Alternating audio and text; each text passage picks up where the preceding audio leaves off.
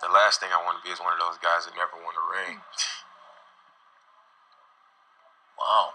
Very LT. I meant one of those basketball players that never won a ring. No, Chris, I didn't mean you. I meant one of those legends who lost in the finals over and over. Burgers are ready. Carl, come back, Carl. I was in New York City recently and I met a guy who couldn't care less if Karl Malone never won a championship. He loves him anyway. Meet Steve, the pizza guy from the Bronx.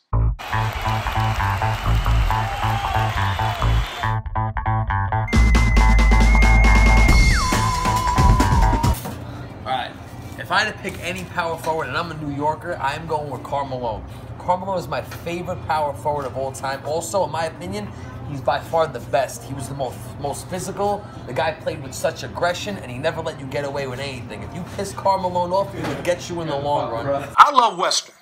I'm old school Western. Back in the day when you had a beef, you didn't go get guns or knives. You just, hey, Mark, I got a problem. We just go in the back with no cameras, no nothing, and let's just knuckle up and get it over with. He has the second most points of all time. I think there needs to be more NBA players. If there was still Carmelo's in the league, the league would be different. I freaking love Karl Malone. The best, number one, always. Over Tim Duncan, over Dirk, over Kevin Garnett, I'm taking Karl Malone. 100%. That's a passionate speech. That's right. That's how I feel. Your pizza's even better than your speech. I appreciate that. Thank you. It's good stuff. Not exaggerating. Steve's Pizza in the Lower East Side at a place called Clinton Square Pizza is seriously the best. Crispy, cheesy, he's got this thick Sicilian pizza. It's his dad's recipe from 50 years ago. The guys know how to make pizza. He's also the biggest Karl Malone fan I think I've ever met, which was just crazy because he's from New York and loves the Knicks. So I posted Steve's testimonial about Karl Malone on my Twitter account.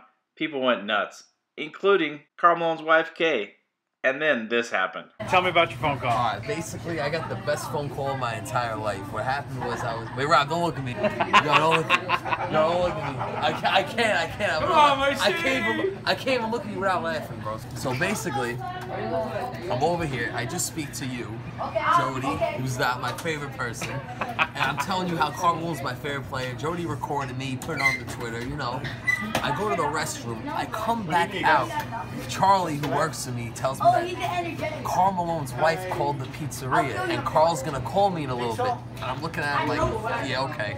Next thing I know, like 10, 15 minutes later, I get a call. I pick up the phone. I say, hey, who's this? He goes, can I speak to Steve? I hear the accent. I'm like, this is Karl Malone. He made my freaking day. I couldn't believe it. What do I do? I disregard all the customers. I run straight into the bathroom just so I could have like some privacy to talk to. I spoke to him for like 15 minutes.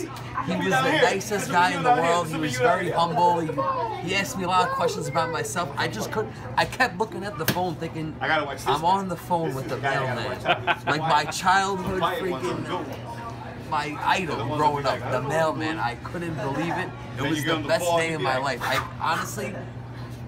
Who would have ever thought, like when I woke up that morning, I was going to speak to Karl Malone, my favorite basketball player and the best basketball player ever, that day on the phone. I, I can't believe it. And it's all because you, you made it Uh, possible. it's all good, man. You're the best. You really are. You're amazing. You guys, um, you made you, Karl Malone and your wife, okay? You guys, you made like a dream possible. That was awesome.